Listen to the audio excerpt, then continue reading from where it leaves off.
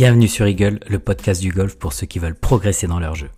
Je partage avec vous des conseils, des expériences sur tous les facteurs de la performance. Pensez à vous abonner pour ne rien rater. Salut tout le monde, on se retrouve sur un nouvel épisode d'Eagle. J'espère que tout roule pour vous. Euh, des petits remerciements déjà. Je voulais remercier André euh, pour, pour ses cafés, son message d'ailleurs. Euh, je voulais remercier Steph aussi, Vic23, je me demande si je l'avais déjà fait, Vic23, si j'avais déjà remercié. Mais pour vos petits avis sur, petits, je dis petits, mais pour vos avis finalement sur Apple Podcast, qui sont super sympas. Et d'ailleurs, Steph, tu m'as, mis quelques thèmes que je garde en mémoire. Je les ferai peut-être pas tout de suite, mais je les garde en mémoire parce que qu'ils nous serviront, euh, ils me serviront plus tard. Le thème du jour, euh, je voulais vous parler un petit peu des, parcours à thème. C'est-à-dire, euh, souvent vous jouez les parcours, quand vous jouez un parcours de golf, vous jouez toujours dans le même mode, c'est-à-dire essayer d'avoir un résultat, essayer de, faire le mieux que vous pouvez faire. Mais finalement, ces parcours-là, c'est aussi des parcours d'entraînement, et ça vaut peut-être le coup d'y mettre une thématique pour pouvoir s'entraîner de bonne manière. Euh, c'est vrai qu'effectivement, vous en, je pense que vous en jouez déjà beaucoup. Vous jouez peut-être, euh, alors ça dépend des joueurs, mais peut-être au moins un parcours par semaine. Et c'est vrai qu'à chaque fois, c'est pour la même chose, c'est pour améliorer le résultat que vous avez fait la semaine dernière, par exemple, ou votre meilleur résultat. Et en plus de ça, c'est souvent sur le même parcours. Donc, euh, est-ce que il faut pas plutôt mettre une thématique d'entraînement? Moi, je pense qu'effectivement, il faut de temps en temps qu'il y ait un résultat, mais que de temps en temps aussi, ça soit des parcours qui servent vraiment à s'entraîner. D'ailleurs, l'entraînement sur le parcours, il, à mon avis, il est important, surtout euh, quand on, on, consacre très peu de temps à l'entraînement en dehors du parcours. Euh, je prends l'exemple de la plupart des joueurs qui passent pas beaucoup de temps sur les zones d'entraînement ou au practice, euh, qui vont souvent sur le parcours. C'est pas une mauvaise chose en soi, mais du coup, il faut y consacrer de l'entraînement sur le parcours parce que sinon vous vous entraînez quand? Vous cherchez en fait juste une amélioration de votre performance. Donc, euh, donc du coup, il faut, il faut effectivement à ce moment-là euh, s'entraîner sur le parcours. L'avantage aussi de s'entraîner sur le parcours, c'est que c'est quand même le seul endroit, je vous l'avais déjà, vous dit dans un autre podcast, mais c'est vrai que le golf c'est le seul sport où finalement on s'entraîne pas sur le parcours de bah, sur le terrain de la compétition. Euh, vous regardez, vous faites de l'athlétisme, en général vous courez sur la piste d'athlétisme. Euh, vous faites euh, du foot, vous entrez sur un, un terrain de foot. Et effectivement, le golf, c'est rarement le cas. Donc, quand vous êtes sur, le parcours, qui est le terrain de la compétition, ça vaut le coup, effectivement, à ce moment-là, euh, d'y apporter de l'entraînement. Et de s'y entraîner sur ce parcours type, ben, le parcours de la compétition. Aussi, l'avantage de s'entraîner sur le parcours et d'avoir des parcours d'entraînement, c'est que ça va apporter un peu de pression à l'entraînement, c'est-à-dire que quand vous allez être sur le parcours, vous allez être dans le mode parcours. Même si vous entraînez, vous allez quand même avoir l'environnement qui va changer, l'environnement de la compétition autour de vous, et vous allez avoir finalement qu'une balle pour performer. Euh, vous n'allez pas répéter 15 000 balles. D'ailleurs, c'est euh, très judicieux ce qu'avait dit Sébastien Gros dans son podcast euh, qu'on a fait ensemble quand il disait c'est c'est bien beau de s'entraîner autour d'un green d'entraînement avec 15 balles et 15 euh, fois la même situation sur un lie en général que vous choisissez et dans des conditions idéales, mais finalement c'est jamais la vérité et que s'entraîner à avoir des euh, des, des, situations différentes, des des comment dire des lies différents et avoir qu'une seule balle, eh ben là c'est la vraie c'est le vrai entraînement. Donc du coup, voilà, ça c'était c'est l'intérêt des parcours à thème. Et les parcours à thème, j'ai envie de dire, il y en a plein, plein, plein. Et là, je vais du coup, l'objectif de, ce podcast, c'est de vous donner plein d'idées de parcours à thème que vous pouvez du coup essayer euh, sur, par, sur vos prochains parcours. Et, euh, et, du coup, essayer d'en noter quelques-uns parce que je les ai répertoriés par secteur de jeu, putting, petit jeu, wedging et long jeu. Mais essayez d'en noter quelques-uns ou réécouter euh, ce podcast après, mais, mais histoire de, de peut-être en essayer un, deux et, et essayer de trouver après votre rythme. C'est peut-être euh, un par semaine. Ça dépend combien de temps, combien de fois vous jouez sur le parcours par semaine. Mais sinon, ça peut être un par mois, ça peut être euh, un toutes les deux semaines, je sais pas. Mais il faut, à mon avis, apporter vraiment, euh, apporter de l'entraînement sur le parcours. On va commencer par le putting.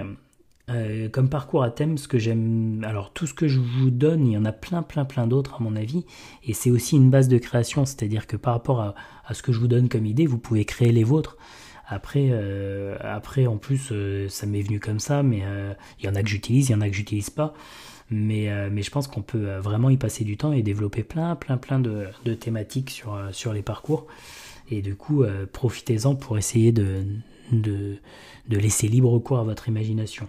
Au putting, moi, ce que j'ai, ce que pensé, je me dis que sur un parcours, vous pourriez vous dire, ok, si à chaque putt que je fais, je dépasse pas le trou, je recule d'un putter. Comme ça, ça vous force, par exemple, à ceux qui, ont, euh, qui sont un peu timides et qui restent toujours un peu courts, bah, à dépasser le trou. Parce que sinon, vous vous retrouvez avec ce que vous êtes resté court plus un putter. Et vous notez bien évidemment votre score. Comme ça, vous voyez un peu ce que ça peut donner une autre thématique aussi au niveau du putting, ça peut être, euh, par exemple, vous mettez des thématiques de, de long putt, c'est-à-dire que vous allez vous entraîner à faire des longs putts. Donc au 1, une fois que vous êtes sur le green, vous prenez votre balle et vous faites, vous faites un putt à 20 mètres, et vous partez de 20 mêtres du coup. Au 2 à 15, au 3 à 10, et ainsi de suite, et vous recommencez jusqu'au 18e. C'est-à-dire qu'à chaque fois, vous ne pas où, là où votre balle est, mais vous, vous de 20, 15 ou 10 mètres, et vous notez votre score à partir de ce moment-là. Euh, ce que vous pouvez mettre aussi, euh, ce que vous pouvez faire au putting, c'est par exemple si euh, sur un trou vous faites plus de deux putts, vous recommencez le trou. Alors ça, effectivement, en termes d'organisation, il faut, bien le caler, c'est-à-dire plutôt en fin de journée, là où il n'y a personne derrière en fait. Donc en fin de journée ou très tôt le matin, ou des jours où effectivement où vous avez la chance de n'avoir personne derrière vous. Mais ça, ça peut être un bon deal, c'est-à-dire ok, si je fais deux putts, je recommence le trou. Ou s'il y a beaucoup de monde, vous notez les trous où vous avez fait plus de deux putts et vous allez les refaire après le parcours. Ça peut être aussi un autre moyen. Euh, autre chose au putting, vous pouvez vous dire que si après votre un une autre thématique, hein, si après mon premier, votre premier putt, je suis à plus d'un mètre, je recule de deux putters. Et ça, c'est la capacité à doser, c'est-à-dire qu'effectivement, est-ce que mon premier putt, j'arrive à le mettre dans une bassine d'un mètre autour, du trou. Si j'y arrive pas, je recule de deux putters. Et pareil, vous notez le score. Et euh, une autre thématique aussi sur le putting, vous pouvez mettre, euh, alors là ça va être plutôt sur des putts intermédiaires, mais euh, au 1 vous faites un putt à 6 mètres, au 2 vous faites un putt à 5 mètres, au 3 vous faites un putt à 4 mètres, et ainsi de suite jusqu'à 1 mètre. Et après, vu que ça fait, vous serez au sixième trou, au 7 vous recommencez. À chaque fois vous vous mettez à 6, 6 mètres pour le premier, 5 mètres après, etc. Et pareil, vous comptez votre score. Et dans ce cas-là, votre balle qui est sur le green, vous la ramassez, vous vous mettez à la bonne distance. Effectivement, vous allez dire, bah mais là je joue pas ma balle, mais le but c'est du parcours d'entraînement. Donc, dans ce cas-là, on entraîne les potes intermédiaires.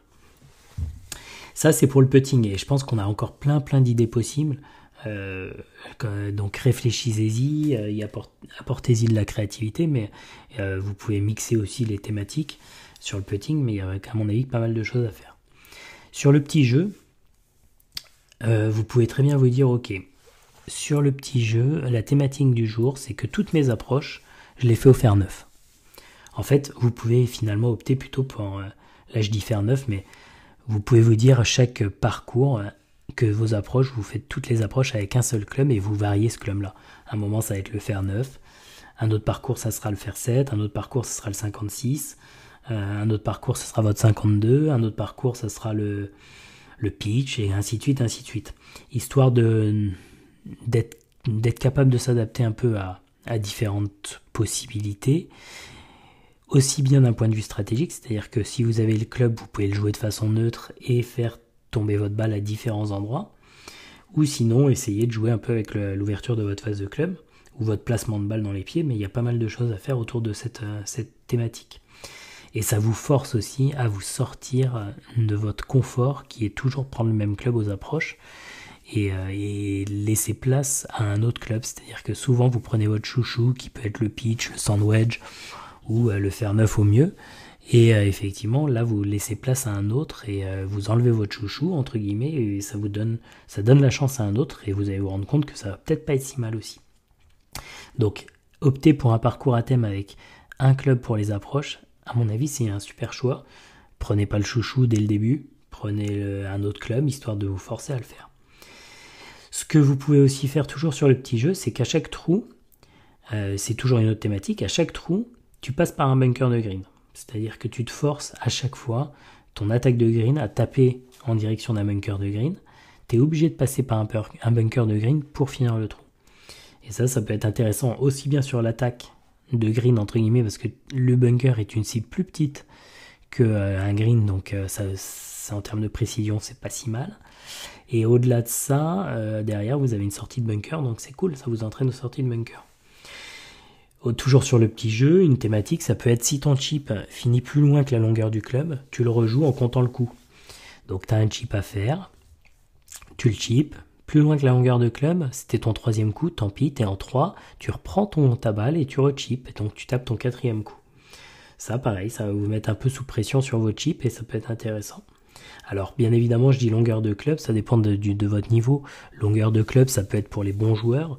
Après, si dans un premier temps, mettez peut-être deux longueurs de club ou longueur d'un drapeau, et, et, petit à petit, vous resserrez un peu l'objectif. Euh, ce que vous pouvez toujours faire sur le petit jeu en termes de thématique, c'est sur chaque chip que vous allez avoir sur le parcours, vous allez définir un point de chute. Si la balle ne tombe pas au bon endroit, donc dans le point de chute, tu seras obligé de rejouer aussi le chip et tu comptes le coup. Et tu le fais autant de fois que ta balle n'est pas tombée dans le, point de chute. Et là, vous allez voir que ça va vite. Ça va vite monter les chiffres. Alors après, attention, pareil, le point de chute, soyez plus ou moins exigeant selon votre niveau. Ça peut être une zone de chute de 2 mètres de, diamètre à peu près euh, selon votre niveau et aller jusqu'à un point assez précis quand vous êtes très très bon. À vous de définir effectivement votre objectif à ce moment-là. Toujours sur, euh, le petit jeu, une autre thématique, c'est qu'à chaque trou, tu choisis un chip. Et donc, tu, tu, en fait, fais, tu fais le trou, sauf que tu finis le trou. Et tu fais donc à la fin du trou, tu, choisis un chip. Et si tu fais un chip putt, tu as un point de moins sur le score. Et si tu fais un chip de putt, tu as un point de plus. Donc du coup, ça peut être intéressant. Et encore mieux, c'est quand vous êtes à deux, c'est que l'autre choisisse le chip pour vous. Euh, et, comme ça, ça vous donne un bonus ou un malus. Donc ça, ça peut être aussi intéressant. Bien évidemment, ça dépend du timing aussi que vous avez, parce que si ça pousse derrière, c'est un peu plus compliqué à mettre en place. Ça, c'est pour le petit jeu. Après, vous avez plein plein d'autres idées, à mon avis, à mettre en place. Mais, euh, mais, euh, mais ça, c'est des idées pour le petit jeu, pour les parcours à thème sur le petit jeu. Au niveau du wedging, pour moi, c'est plus des thématiques de distance, c'est-à-dire selon là où vous pensez avoir des problématiques. Euh, je pense entre 80 et 100 mètres ou entre 50 et 70. Donc vous optez déjà pour une distance des distances, ça veut dire qu'à chaque trou, peut-être que vous changez.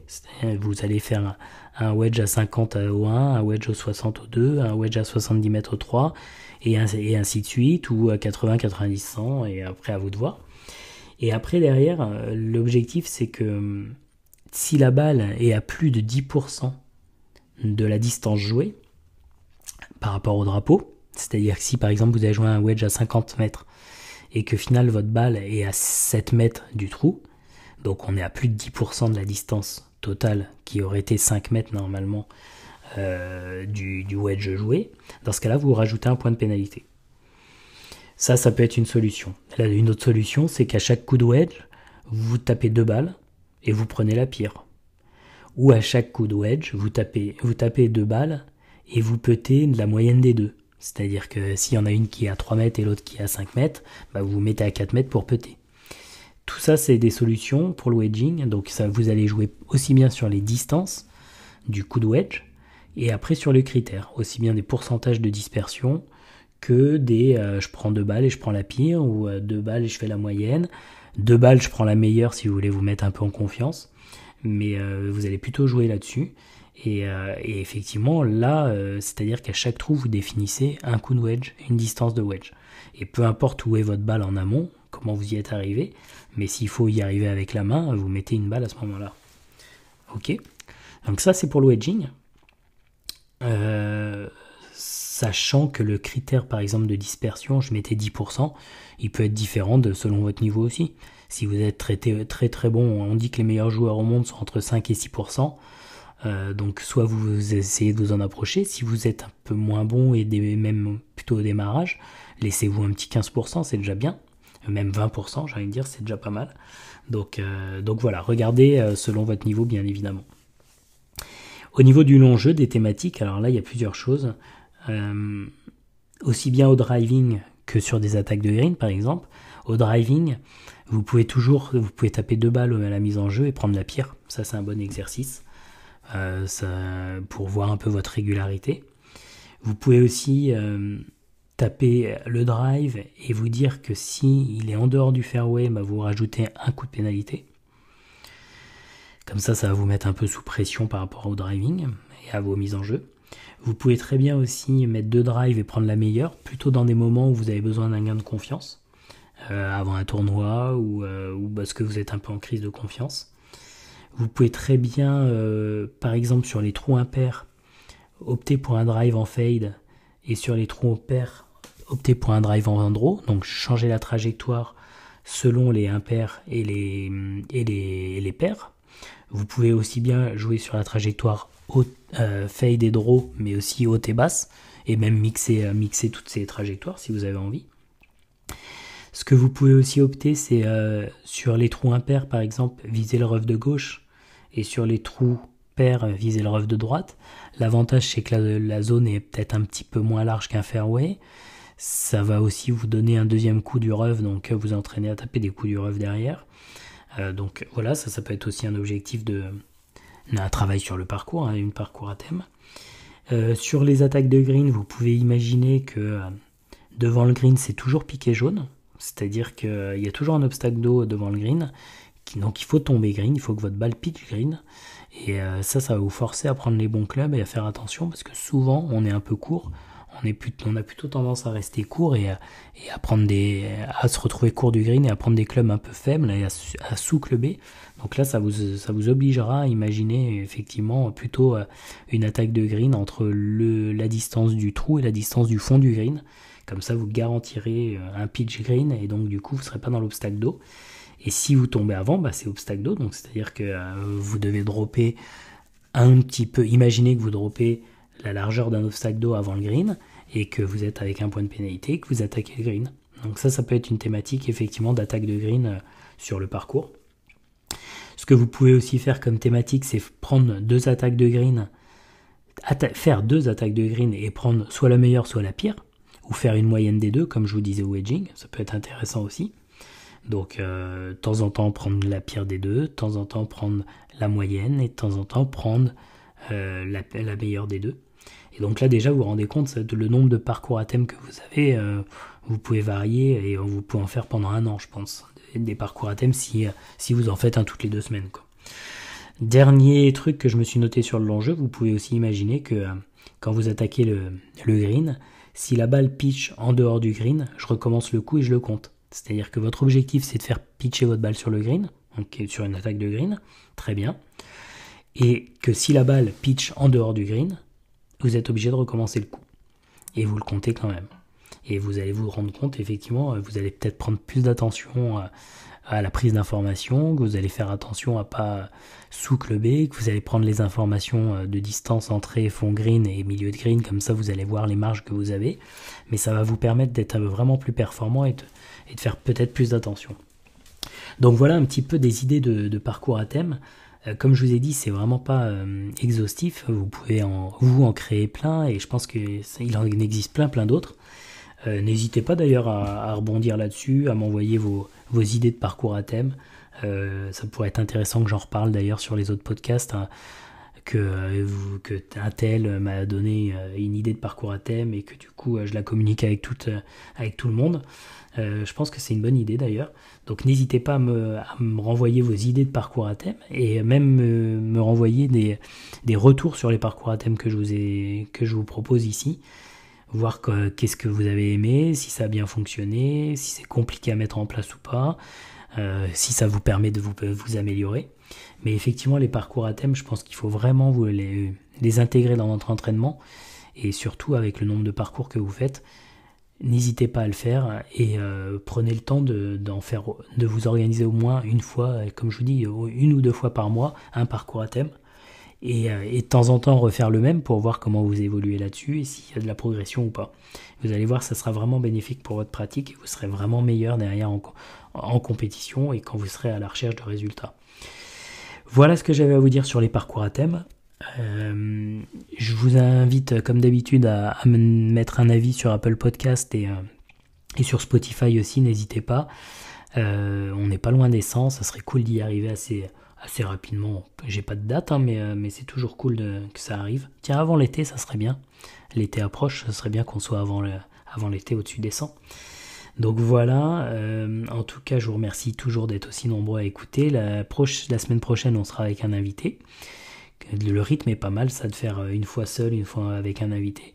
Donc on va continuer comme ça, je trouve, ça, je trouve ça très bien.